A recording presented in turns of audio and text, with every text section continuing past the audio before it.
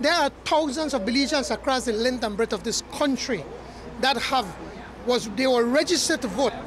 They have their social security card, but because they are unable to get their their new um, birth certificates, they can't re-register. Here we're going to have a, a very important um, referendum on the 10th of April to decide whether we go or not to the ICM, to the ICJ.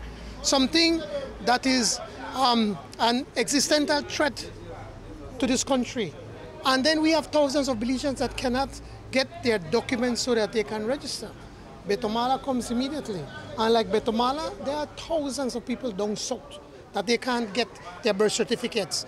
For a person down south to come to Belize to get their birth certificate, it costs them a lot of money and time. For them to get early in the morning on a bus, come and try to get breakfast, get in the line. People are out here in the line from before 6 o'clock in the morning to try to get inside. And then want to get inside and they tell you you have to come back. And when you come back, they can't find the documents. This is unacceptable. The government even changed the law for them to have more control over vital stats. And that is very worrisome when the politicians are trying to get their hands as to what is taking place at vital stats.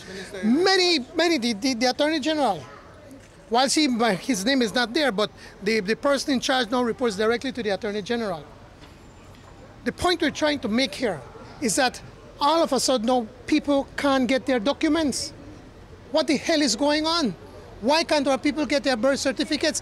This, again, is another example of the competence of this government. Nothing is working in this country. You can't get on a scholarship. You can't get your house, your, your, your land papers. A lot of people right now are trying to buy their land from the Ministry of Natural Resources, their houses that they got under the PUP, and then can't get them done, their, their title. And we're going to spend millions of dollars on an, on an um, referendum for the ICJ, and people then won't be able to vote because they can't get their birth certificates? Thousands of people being disenfranchised in this manner. Um, do you expect to ramp up what's happened here today? Well, of course, it is the first step. I mean, we have to bring it up in the National Assembly. We have to continue to bring to, um, this to the attention of the media for what is going on.